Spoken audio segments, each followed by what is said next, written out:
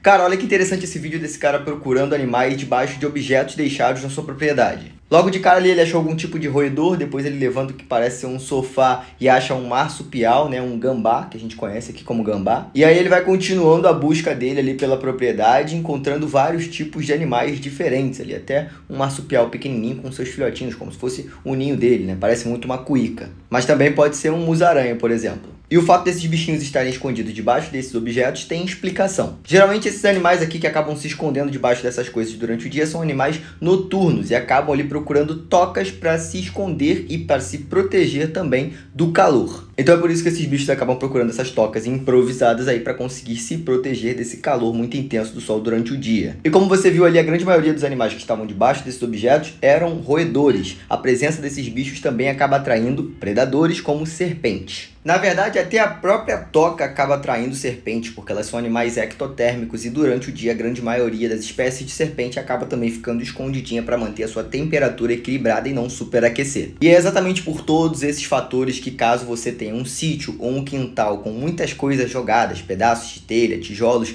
isso pode ser um esconderijo perfeito para animais selvagens. Então se a sua intenção não é fazer um hotel de animais que podem até ser perigosos para você, porque isso aqui também acaba acumulando animais peçonhentos como eu falei, além das serpentes, podem acabar se acumulando ali aranhas e escorpiões, você não deve deixar esse tipo de coisa espalhada no seu quintal. Agora, se você é um malucão da cabeça igual a mim, por exemplo, que gosta de ver bicho, deixa lá e de vez em quando, com uma proteção na mão, óbvio, para você não ser picado e morrer, você levanta que com certeza vai ter um bichinho lá embaixo.